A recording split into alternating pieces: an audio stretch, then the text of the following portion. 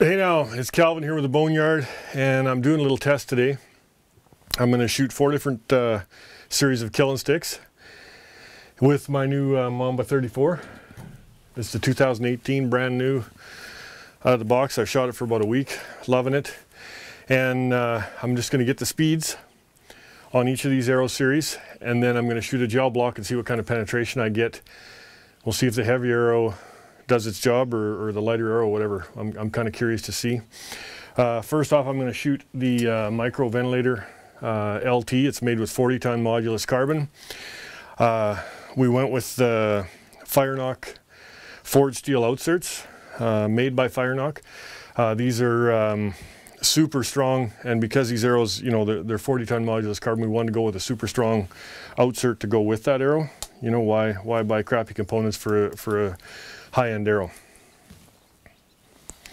Okay, let's see what kind of speed we get. I'm only shooting 65 pounds on this. I just, um, that's what I'm comfortable with. Uh, it's a 70 pound bow max, but, uh, and they say to be an arrow length. Maybe I'm too close there. I don't know. I'll see. I'll put it out there further.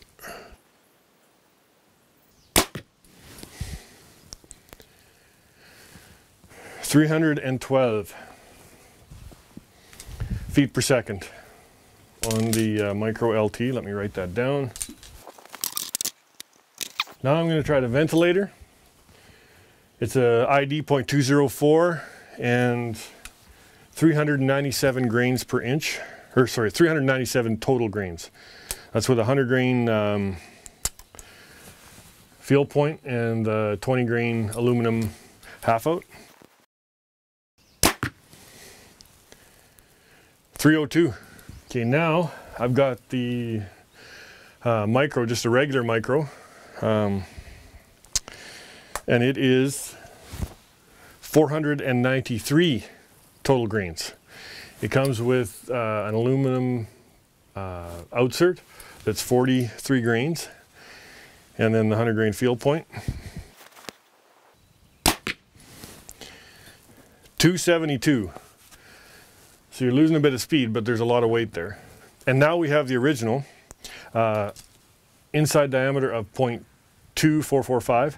It weighs in at two, 396, uh, 14 grain aluminum insert, 100 grain uh, field point.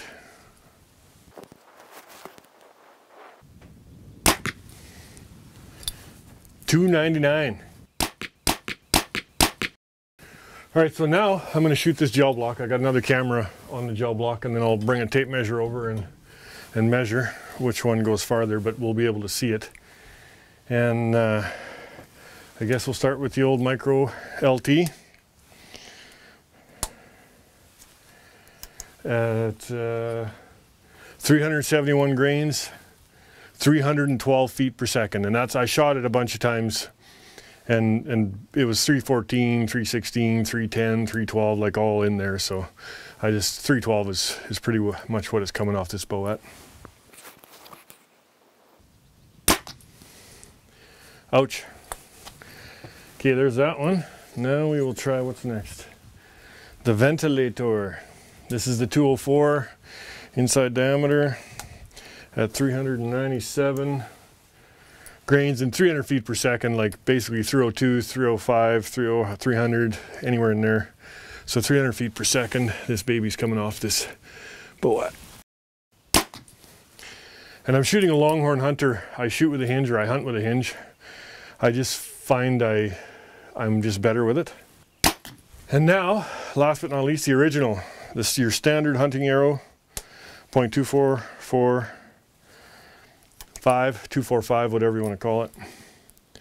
That was 273, the speed on that arrow, on that micro. This one is 396 grains, total weight at 300 feet per second is what it is, basically. And there we go. Now, let's see what it is.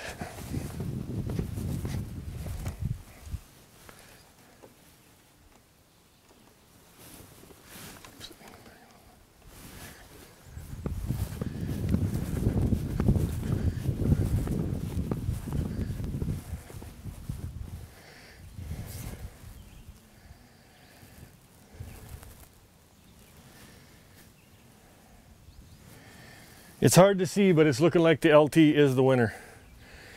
I'll get it because it's poking, it's coming out the other end. The rest of them, no, the ventilator, no. Even that heavy, heavy arrow didn't touch her. and that's why I switched to these LTs. Uh, Darren Hassan was just loving them and bragging them up. Uh, how, how much how much speed he was getting out of them with his Hoyt.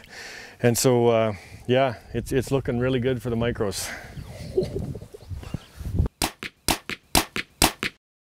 Okay, so the results are in. The Micro LT, 14 inches of penetration in that gel block. It just poked out the other side of it. The ventilator uh, was 12 and a quarter inches of penetration. The micro ventilator was uh, the heaviest arrow and the slowest arrow, obviously, was 10 and 7 eighths inches of penetration, which is, uh, I'm surprised, but it is what it is. And then the original series Kill'n Stix, was 11 and 3 quarters.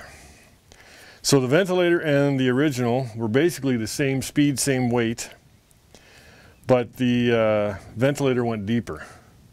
And I'm not sure if it's because of that half out, it's a little bigger, you know, and then it gave it that extra pushing through is the only thing I can think of. Just gave that little extra.